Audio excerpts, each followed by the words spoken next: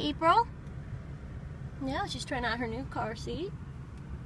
All snuggled in there. She likes looking out the window. She hasn't been able to do this in a long time.